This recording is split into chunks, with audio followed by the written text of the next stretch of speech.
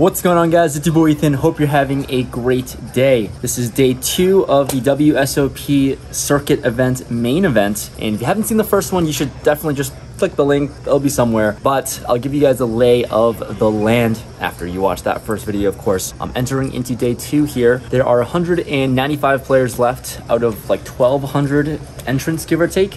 183 make the money. So 12 or 13 people need a bust, and then we're in the money. So it's gonna be a quick, like little bubble area thing to start this tournament. It's gonna be fun. I have 365,000 in chips, which uh, starting stack was 30,000, which is apparently 14th in chips right now today out of the 195. So I'm in a pretty decent spot.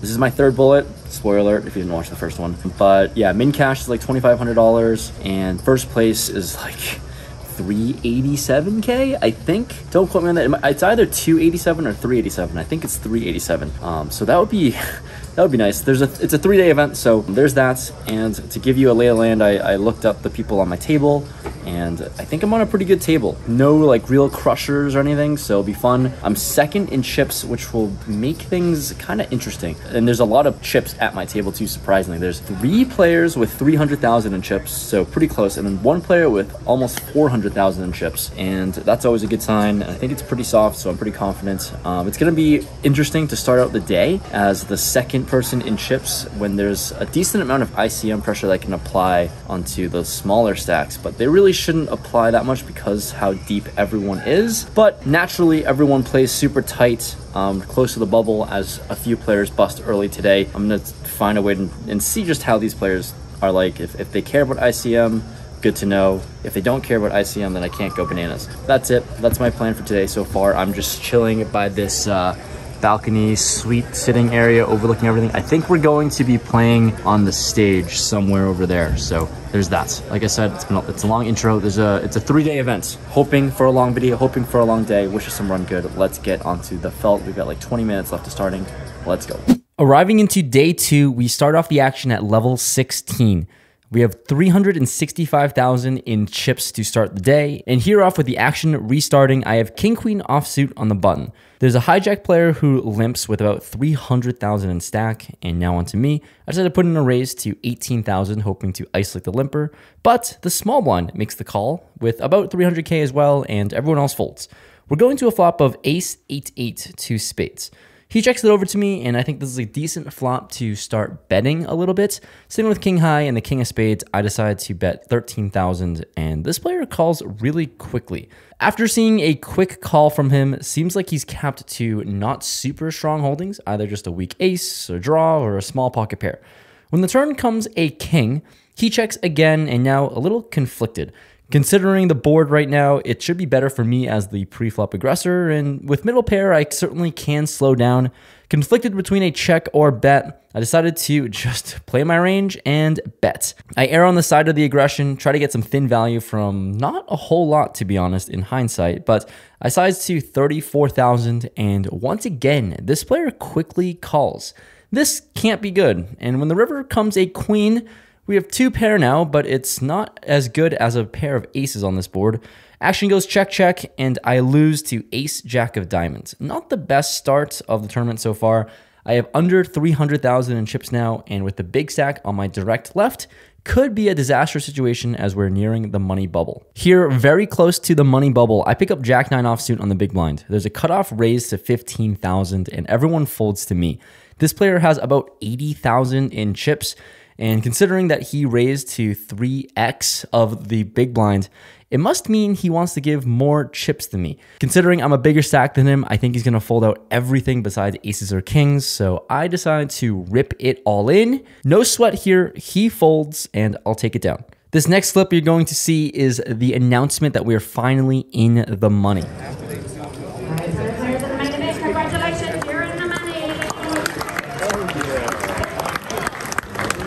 Chip stack has climbed up a little over 300,000. There is also conveniently 300,000 real US dollars for first place. Let's get it. Into the next level we go. We have Queen Jack of Spades and the low jack. There's an undergun player who raises to 16,000 And here I have a good hand to see a flop with, being in position of this player. I decided to make the call. The player to my left with a huge stack makes the call, and this entices the small blind and big blind as well. So multi-way to this flop with a massive pot brewing so far. And the flop comes ace 10 4 2 spades. Wow. We have the spade draw, we have a gut shot to Broadway, a lot going for my specific hand, and the under the gun player decides to make a continuation bet of 38,000. Looking at this player's stack, he has like 200,000 behind, and with multiple people left to act behind me, being in position, I decided to not take the aggressive route on this hand. I think if we're out of position, it makes it much easier to raise, but here I decided to call and everyone else folds. So Let's hit an out here, please. The turn is an eight of hearts. Brings in another flush draw, but we improve to a double gut shot straight draw. So much going on for my hand, and this player decides to rip it all in. What?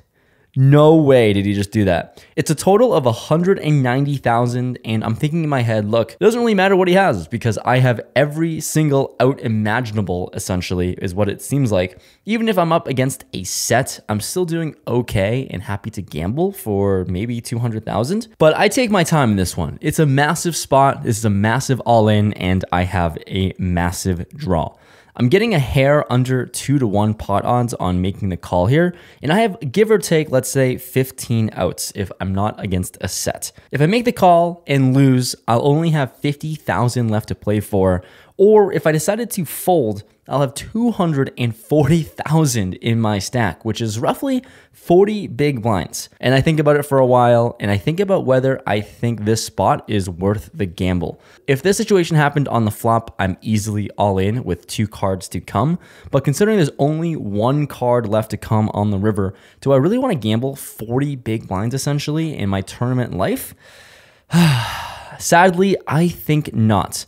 Ultimately, I ended up thinking about folding and do make the fold because I have 40 big blinds. It's plenty of life and we're in the money here. I think I'm confident in my skills to navigate this chip stack versus other players at the table. So I fold, I announce my hand, and this player tells me he had pocket tens. So he did have a set, and who knows if I made the right choice to fold or not. It didn't feel comfortable with gambling at a 35% for my tournament life here when I could probably try to run a little bit deeper if I just played out all the other hands. So let's see if my decision to fold will pay off. The next hand, we're on to the next level with ace 8 offsuit in the big blind. There's a button player who open limps. Limps in for 8,000. He's been limping a lot. Small blind sides on making the call. And here onto me, I have about 30 big blinds now. The button has 20 big blinds and the small blind covers me, but don't think the small blind player is going to be too strong as he didn't raise pre-flop. So I think ace 8 should be ahead of a lot of limping ranges. And look, if I can fold out better aces as well, like ace 9, ace 10, then that would be really cool. I decide to go for it. I rip it all in, basically 20 big blinds effective against the button player. The button ends up calling, which is not good news. Small blind folds, and we're up against ace jack offsuits. Oh no. I didn't want to gamble for almost a flip with 40 big blinds, but I'm gambling, totally dominated. We're off to a flop, which comes all spades. I check my cards. I have the ace of spades. The turn gives us the nuts. Absolute suck out city. Like I said, I don't like getting it in as a flip, but if I'm getting it in dominated, I'm certainly going to win. Let's freaking go. Huge bink for my stack. And this is what we needed. One lucky hand to be up over 400,000 in chips now. In the following hand, I pick up ace king offsuit in the hijack. There's a plus one raise to 23,000. This is the same player who had pocket tens when I had queen jack. Anyways, I think he has a massive tell with his pre-flop sizings. So him raising almost 3x the big blinds and in early position seems super strong. I decided to just make the call with ace king off suit here. Think we can mix between one of those two options and here I'm just making the call. The cutoff on my left calls as well. So we're going three ways to a flop of ace 8-5 rainbow. Well, this is not quite the sweat anymore as I have top pair, top kicker. The early position player in plus one bets out 25,000. I decide to make the call, obviously. Don't think raising makes a whole lot of sense. And the cutoff folds. Going to a turn heads up, which is the six of hearts, brings in two hearts on board. Now he decides to check. And on a board that should theoretically favor me with more lower cards on this board here, I have a strong hand. I'm going to bet for value and hope to get called by worse. I size up to 105,000. Can certainly get some worse aces to call. Some worse pocket pairs can get sticky as well. But this player decided on a fold. Folds pocket queens face up. So I did avoid winning a huge pot here by not three betting pre-flop, but it was a flip essentially. Nice to hit it, I guess, this time, and I'm okay with not winning the max. Following that hand, I pick up pocket nines in plus two. There's an unknown player with a short stack raises to 16,000. Here, early position versus early position, I make the call and action folds around to the big blind who's in here as well. So three ways to a flop of 10, 8, 6 rainbow. The big blind checks it over to the unknown player and he takes his time thinking his thoughts out and then goes all in. Oh, okay. He's got a pretty short stack. And here, if I was playing heads up, this is obviously a very easy call. But because there's the big blind player to left to act behind me, makes things a little more tricky. Essentially, I still can't talk myself out of a fold here with basically second pair. Just gonna hope and pray that the big blind doesn't have a 10 and he'll snap fold. So I call the unknown players all in. But while I do that, the big blind doesn't snap fold. He actually thinks about this decision for a long while, which is not good for me. Eventually, he shows his cards to the table. He has 10 9 off suits and folds. Oh my god, he's gonna fold top pair, and the unknown player shows six, seven of clubs. Not only did it make a bluff call to fold out the best hand, we're up against the worst one, and the runout is clean. Bink City for us. The stack is growing over 600,000 now in my stack, and things are going quite well. This next hand's a fun one with King Queen offsuit on the button and action folds to me. I raise it up to 20,000. We get the small blind player to make the call, then the big blind puts in a raise now to 72,000. I've seen this player be super active so far and 3 bet early and often in this tournament. And I don't think this player is going to be getting out of line by any means when I say that. I just think he's doing it a lot.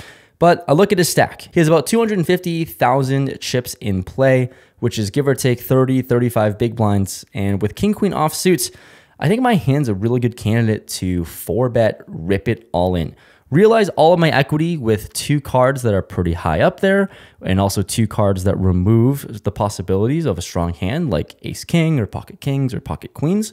So I think I can do it. Basically, just jam and hope for a flip if this player calls, or fold out a lot of flips as well. So I decided to go all in, small blind folds, and the big blind tanks for a while. He announces that it's close, which I'm not sure what that means and what he's thinking, but he ends up folding. I'll take the free 85,000 in the middle and add it to my stack. Pretty nice going here. Seems like he definitely folded the hand better than King Queen, I'll tell you that much. And oh well, happy to take it down pre-flop.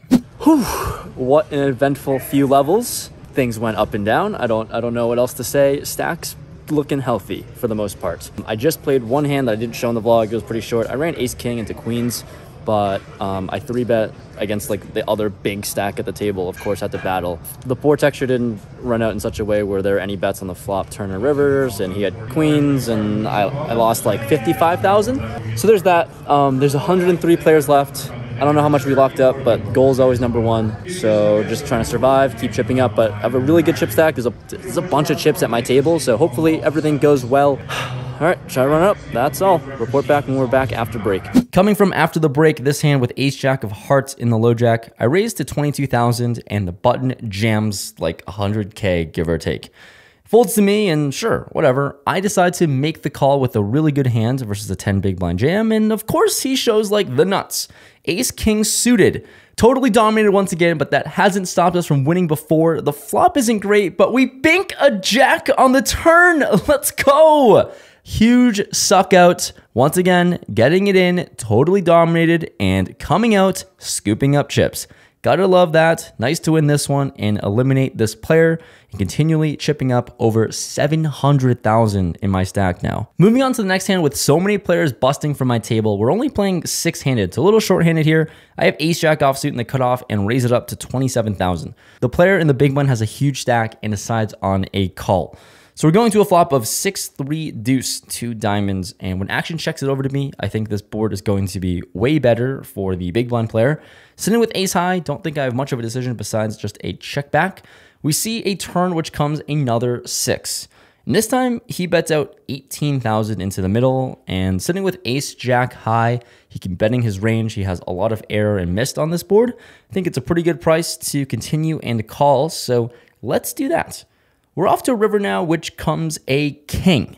So the board really doesn't change a whole lot here, and surprisingly enough, this player bets 68,000, sizing way up now on the river.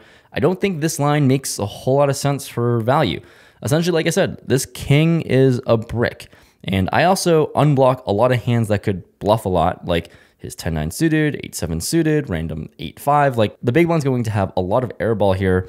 And when he bets this big, seems like he's only betting so big with a 6 because that has trips and that's a good hand. But if he had a hand that contained a pair of threes or deuces or even a small pocket pair, betting this large doesn't make too much sense for me. So trying to piece things together, seems like he's going to have a really strong hand or a complete bluff. And when this is the case, I am going to be a non believer thinking that ace jack high is going to be good a lot of the time. So I call. And he shows me 8 6 offsuit. Now, of course, there's not many people that bluff in these tournaments, it seems. So much for my thinking process. He just has the nuts. But, you know, at least I thought that was going to be a possibility. So the chip stack's down to close to 600,000 and time to rebuild. We're in the big blind ourselves with 6-7 off offsuit. There's a plus one open at 27,000 Action folds to me, and this is certainly defendable. I make the call playing about 50 big blinds deep. We're off to a flop, which comes a 5, 6, 7 rainbow. Oh my god. Amazing flop from my hand, and even better for my range. I decide to lead here as I think the other player is going to check back a lot. I lead for 25,000. And for 25,000, this player decides on a call. So we've got a pot building here. The turn is the queen of spades, bringing two spades on board. And I think now with the queen on the turn, it changes some stuff. Overall, this card should be better for my opponent opposed to me. So I decided to check this one and not continue firing, although I have a really strong hand. But he does the betting for me. 55,000 to go. And I think I have an easy call, although raising could make a lot of sense because look, if this player is going to have a pair of queens, I get a lot of value from it. If he's going to have some flush draws, I also get a lot of value from it playing out of position. Anyways, I just decided to make the call as played. With two pair, let's see a river which comes a brick. Hopefully, it's a jack. Here, another face card. I'm going to check it over to him and let him do the betting, whether he's bluffing or value betting. He decides to bet 75,000 and I don't think now on this board texture I can raise. So I just make the call. And good news, he has ace king high. Nice hand for us to win and come back on the rebound trail. I'm happy with how I played this hand, and maybe I might have just gotten the max, letting him bluff turn and river. So we're back to about 800,000 in my stack now, and this next hand, strap the F in. Let's get into this. I have ace king of hearts in plus one. I raise it up to 27,000 and get some action as the player to my left and big blind both call. These are the two players with the biggest stacks at the table, so let's get cracking into this one. Multi-way, and I'm out of position. The flop comes queen, queen, four, rainbow with one heart. I decided to check here as I'm out of position. I've totally whiffed and honestly, not really going to connect too much with this board. So I check, the player on my left checks, and the player on the button decides to bet out 35,000. Here with ace king high, I have backdoor straight draws, backdoor flush draws, and two overcards. Not going anywhere for this price. I make the call and the other guy folds. So big pot brewing here. Going to a turn, which comes a 10. Not a heart, but it does give me the gut shot straight draw to Broadway. I start with a check again, and this player thinks and bets out 42,000. Thinking that this is a little strange to size down so much here but certainly just never folding as I see a turn that has given me some improvement and some extra equity. He's betting so small once again here where I'm just forced in here with ace king high. So let's make the call and hopefully bank on the river. The river is the seven of hearts, brick city for us. Sitting with Ace King High, I decided to check again, hoping to just get the showdown. Maybe Ace King High can win sometimes. But he now decides to not check it back and blast away 93,000 into the middle. Okay, well, let's let's think this through now. Sitting with Ace King High, hero calling, three streets here, especially in the river, definitely out of the question, I think. I also think folding here is also extremely reasonable, but let's just think about some hands that's going to value bet all three streets on this runout and board. Obviously, there's a queen. You can certainly have that, but besides that, uh, there's not much else that's really strong, is there? Everything else that he would bet for thin value, unless he had pocket tens, is going to be in a gross spot if I were to put in a check raise. He might have pocket jacks, he might have a 10 maybe, and certainly could have a lot of bluffs as well. So I'm basically talking myself into a check raise here to fold out all of his thin value bets for three streets and also bluffs.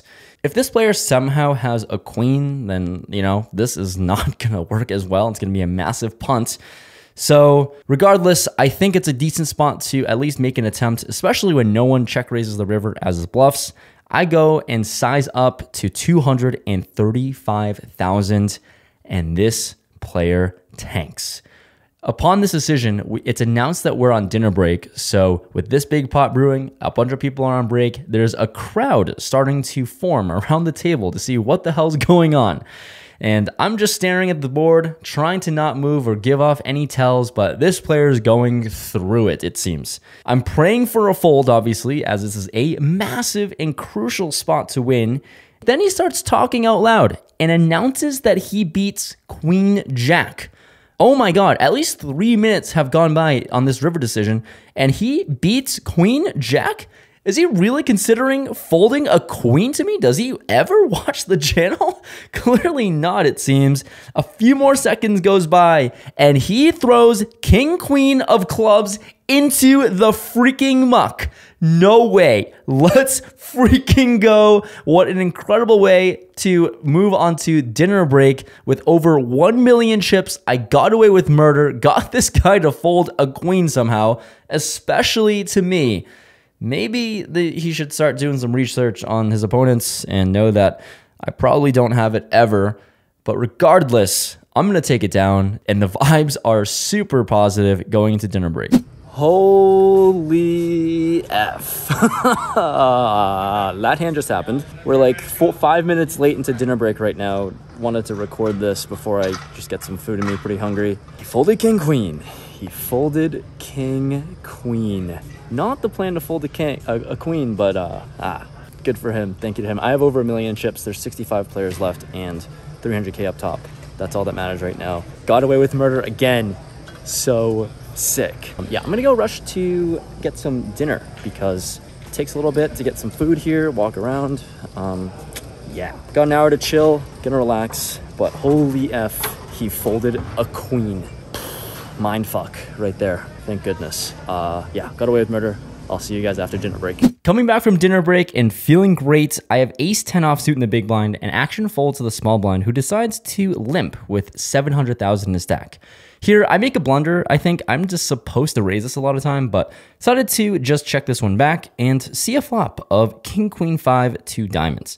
He decides to bet out 30,000 into the middle here, about two thirds sized bet. And I'm not going anywhere here with ace 10 high on this board. Definitely can rep a lot or hit my outs. I make the call.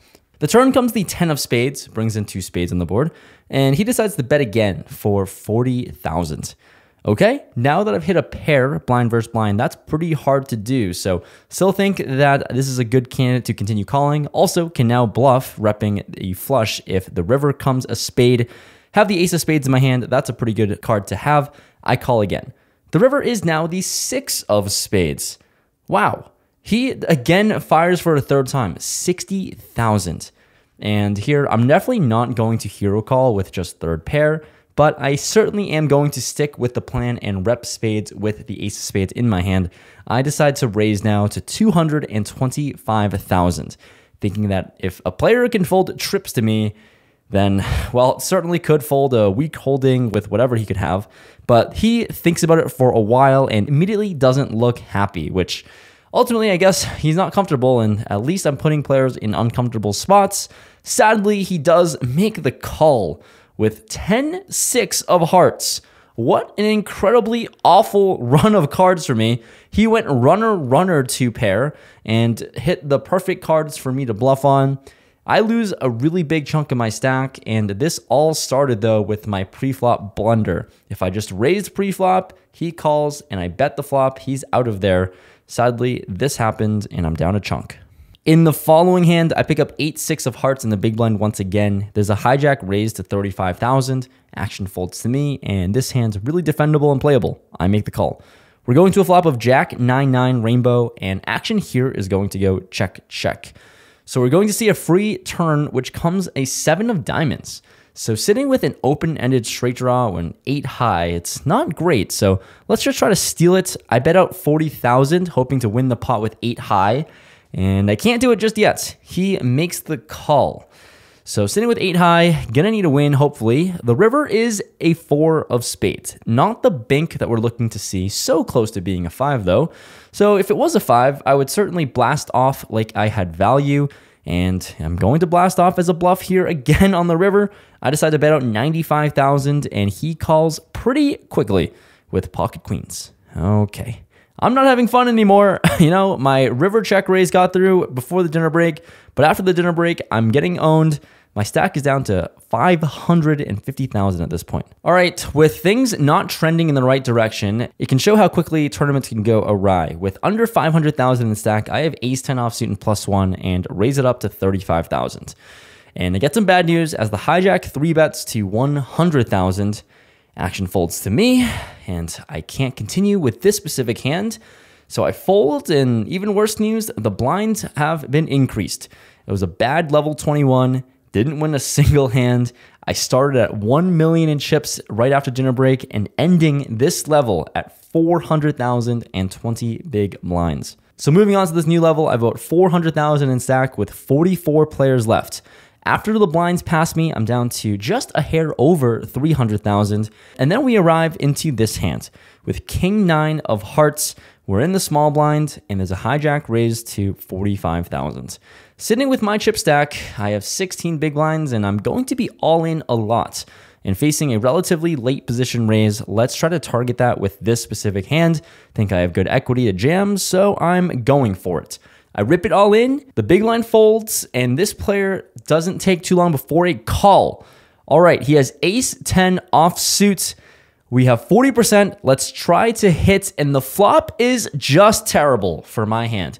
It's so good for ace 10, and the turns and rivers do not improve us. So king high is not going to win this, and GG's to my opponent. Good luck to everyone else, but I'm busted in 36th place. Fuck. Uh, bound to happen. Um, I guess looking back, King 9 actually is incorrect of a jam, but whatever. Pretty awful flop to be against Ace 10 on Queen Jack high. So I had like a, I had like only not many outs, six outs. 10 gives me a straight that he was holding.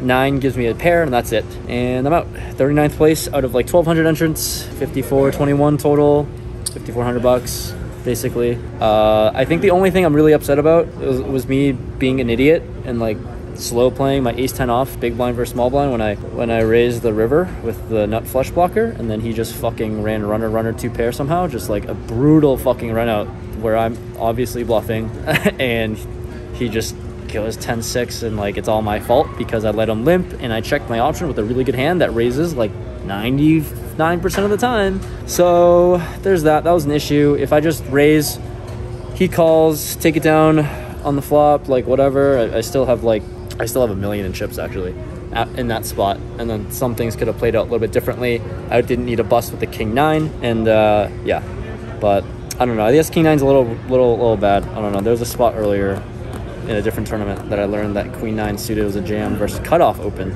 but versus hijack open, it's not. Whatever. 300k up top, down in flames. I'm pretty upset. Not happy about it. This is like two minutes after I busted, so like live reaction. This is why I never try to record outros when I bust a tournament right after it happens, so I get pretty upset and I just beat myself up because I'm trying to win every tournament and it's very unrealistic, but that's how I am. But thank you so much for watching. Thanks for sticking around this two-part video series. Couldn't do it. Couldn't spin it up. I was pretty short. And pay jump, there was like a pay jump, four people busting away. I had two little chips, and I thought King 9 was a good spot. He made a correct call, and that is it. So thanks so much for watching, guys. Uh, fuck me. That's all I have to say. Uh, thanks for watching. I'll see you guys in the next video. Hit that like button. More tournaments to come, more cash games to come. Peace.